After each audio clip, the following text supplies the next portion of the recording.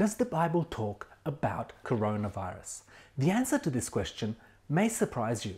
In Matthew chapter 24 verse 3, Jesus' disciples asked him what the signs of his return would be. Jesus proceeds to give a list of signs, but in verse 8 he says, these are the beginning of birth pains. That's a strange thing to say, I thought. What do birth pains have to do with Jesus' return? My beautiful wife Gabrielle gave birth to our daughter Sarah literally two weeks ago. However, her contractions began almost a month prior to that.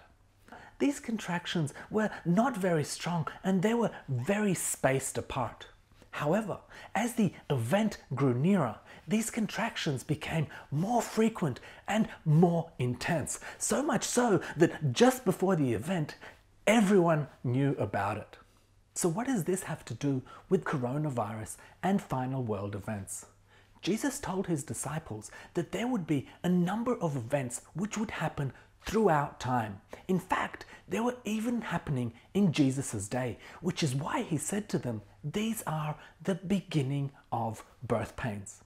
However, just before he would return, he predicted that these events would increase in intensity and in duration.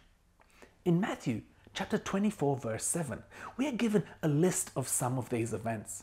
It reads, And there will be famines, pestilences, and earthquakes in various places. Jesus foretold that just before his return, there would be an increase in natural disasters, including pestilences. Now, what's a pestilence?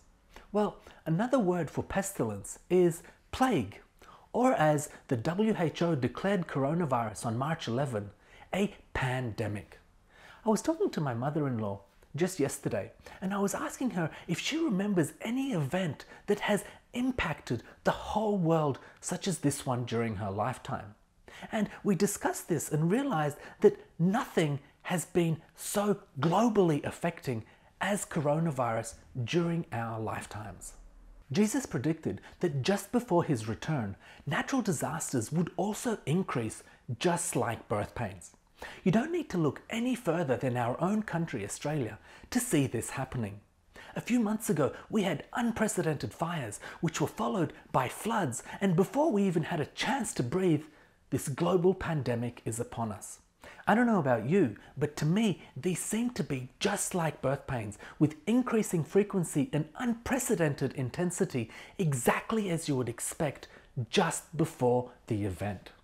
But Jesus and others, including Paul, Peter, and Daniel, also foretold other events that would happen just before the end of time. And while coronavirus certainly seems to fit what Jesus said would happen in Matthew 24 7, are the other events that are foretold also happening, or are they yet to be fulfilled?